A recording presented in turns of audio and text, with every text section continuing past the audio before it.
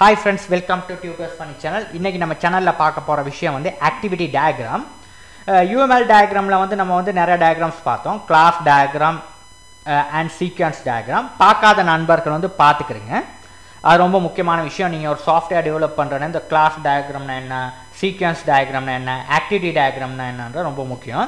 இன்றைக்கி பார்க்க போகிறது வந்து ஆக்டிவிட்டி டயக்ராம் இப்போ ஆக்டிவிட்டி டயக்ராமுக்கு வந்து நான் ஒரு டெஃபினிஷன் கொடுத்துருங்க இந்த activity diagram is and UML has been UML have been described as an object oriented evaluator of flowchart. they are used to show the flow of activities அதாவது flow of activities involved in the business process flow of activitiesனா ஒவ்வொரு activities வந்து ஒரு flow right இப்போ ஒரு அக்கௌண்ட்டில் வந்து காசு வந்து வித்ட்ரா பண்ண போகிறோம்னா இன்புட் த பின் நம்பர் அது வந்து ஒரு flow right withdraw the cash அது இன்னொரு ஃப்ளோ ரைட் அதுதான் ஃப்ளோ ஆஃப் ஆக்டிவிட்டீஸ்னு சொல்கிறது ரைட் இப்போ இந்த ஆக்டிவிட்டி டயக்ராமுக்கு வந்து நான் ஒரு சின்ன எக்ஸாம்பிள் ஒன்று போட்டிருக்கேன். இப்போ they show the start points of start point of a process it's end point of the end point through the series of connected nodes அப்படின்னா என்னன்னு இட்ஸ் ஸ்டார்ட் பாயிண்ட் இதுதான் என் பாயிண்ட் ரைட் இதுக்காக connect பண்ணுறது வந்து notes இதுக்கெல்லாம் இதுக்கெல்லாம் சொல்கிறது ஃப்ளோஸ்னு சொல்லி ஒரு ஒரு ஃப்ளோ ஒர்க் பண்ணும். ரிக்வெஸ்ட் ரூம்னா ஒரு ஃப்ளோ செக் அவைலபிலிட்டினா ஒரு ஃப்ளோ ரைட் இதுக்கு சொல்கிறது டைமண்ட் பாயிண்ட்னு சொல்லி இந்த இது வந்து சொல்கிறது டைமண்ட் ஷேப்னு சொல்லி சொல்கிறது right the series connected node each node represent an activity nodes are connected by the arrows ஏரோஸில் connect ஆகும். Show the flow activities, right? இப்போ நம்ம பார்ப்போம் இது எப்படி ஒர்க் பண்ணு. இதாவது இது என்னென்னா இது உங்களோட சிஸ்டம் ஒன்று நீங்கள் வந்து ஒரு ஹோட்டலில் வந்து அட்மினிஸ்ட்ரேட்டராக ஒர்க் பண்ணுற நேரம்.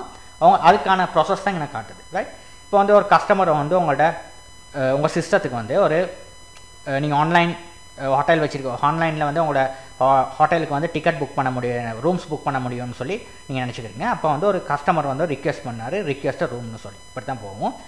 அப்புறம் சிஸ்டத்தில் பார்க்கும் ஓட்டோவா உங்களுக்கு வந்து ப்ரோக்ராம் பண்ணியிருப்பீங்க செக் தி அவைலபிலிட்டி அதாவது இந்த ரூம் வந்து அவர் வந்து ரிக்வெஸ்ட் பண்ணுற ரூம் வந்து அவைலபிலிட்டி இருக்குதா இல்லையான்னு.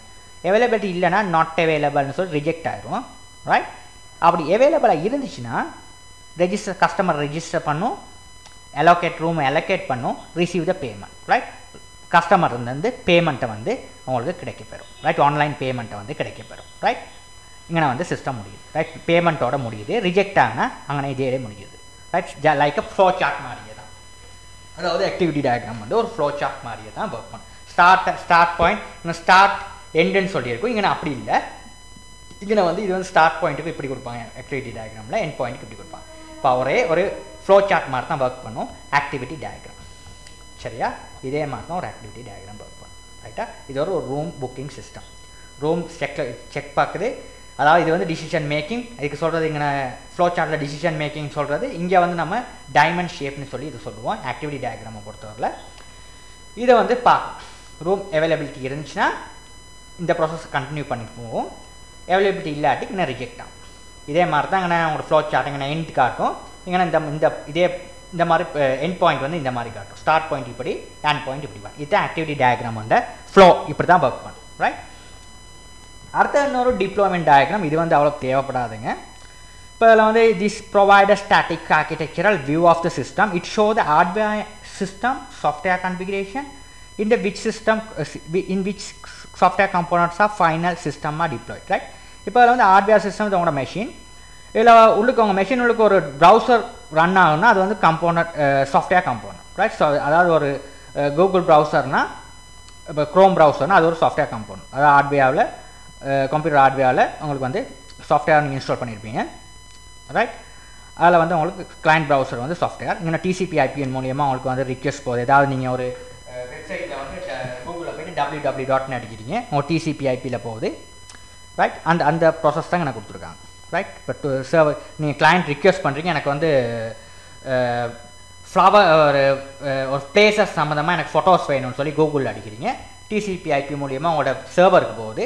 சர்வரில் இருந்து உங்களோட அந்த பிக்சர்ஸ்லாம் எடுத்து அவங்க கிளைண்ட்டுக்கு வந்து கொடுக்குது. அந்த மாதிரி தான் அந்த கிளைண்ட் அண்ட் ஆக்ஷன் மாதிரி எப்படி ஒர்க் பண்ணுது அது மாதிரி தான் காட்டுது. சாஃப்ட்வேர் நோட்ஸ் இது வந்து கம் ஹார்ட்வேர் நோட்ஸ் இது வந்து சாஃப்ட்வேர் நோட்ஸ் இது இப்படி தான் உங்களுக்கு டிப்ளாய்மெண்ட் டயக்ராம் ஒர்க் பண்ணி. இந்த மாதிரி தான் ஓகே அடுத்த முக்கியமான விஷயம் அடுத்து வந்து ஸ்டேட்ஸ் ட்ரான்சிஷன் டயக்ராம் இது எப்படி ஒர்க் பண்ணும்னா dynamic model that represent the different state that an object goes to the through the its life right and object change state due to the occurrence of event அதாவது அதாவது வந்து அந்த event வந்து change பண்ணுற நேரம் இந்த object வந்து change and object change the state due to the occurrence of the event right அதாவது இப்போ வந்து லைட்டை நீங்கள் போட்டிங்கன்னா அந்த இவெண்ட் வந்து சேஞ்ச் ஆகும் ஒன் ஆயிரும் லைட் ரைட் ஆஃப் பண்ணால் ஆஃப் ஆயிரும். அதான் எக்ஸாம்பிள் லைட் கொடுத்துருக்காங்க. ஃபர்ஸ்ட் வந்து இங்கே தொடங்குதுங்கன்னா தான் இப்போ வந்து இங்கே வந்து என்ன லைஃப் லைட் வந்து முதல்ல ஆஃப் ஆகிருக்கு உங்கள் வீட்டில் லைட் வந்து முதல்ல ஆஃப் ஆகிருக்கு அப்போ இங்கே வந்து ஃபர்ஸ்ட் ஆஃப் அப்புறம் சுவிட்ச் ஆன் பண்ணுறீங்க லைட் எங்கே சுவிட்ச் ஆன் பண்ணோன்னே லைஃப் வந்து இங்கே ஒன் ஆகுது. அதாவது அந்த இவெண்ட் வந்து சேஞ்ச் ஆகுது. அதாவது இவெண்ட் வந்து இங்கே வந்து ஆஃப் ஆகிருக்கு நீங்கள் சுவிட்ச் ஆன் பண்ணுற நேரம் அந்த இவெண்ட் வந்து சேஞ்ச் ஆகுது ஒன்னுன்னு சொல்லி அதோட முடியுது ப்ரோக்ராம் ரைட் இதுதான் உங்களுக்கு ஸ்டேட் ட்ரான்சிஷன் டயக்ராம் அந்த ஸ்டேட் வந்து இப்படி தான் சேஞ்ச் ஆகுது. ரைட் முதல்ல ஆஃப் ஆகிருக்க ஸ்டேட் வந்து நீங்கள் ஆன் சுவிட்ச் ஆன் பண்ண நேரம் ஆன் ஆகுது ரைட் ஏன்னா ஃபஸ்ட் வந்து நீங்கள் இங்கே தான் ஸ்டார்ட் ஆகுது ப்ரோக்ராம் ஃபஸ்ட் ஆஃப் ஆகிருக்கு உங்களோட சுவிட்ச் வீட்டில் உள்ள உங்களோட பல்ப் சுவிட்ச்னு நினச்சிக்கிறீங்க. முதல்ல ஆஃப் ஆகிருக்கு அப்புறம் நீங்கள் ஆன் பண்ணுங்க சுவிட்ச் ஆன் பண்ணீங்கன்னா ஆன் ஆகுது. இதோட ப்ரோக்ராம் முடியுது. இவ தான் உங்களோட ஸ்டேட் ஸ்டேட் ஸ்டான்ஷியன் டயக்ராம்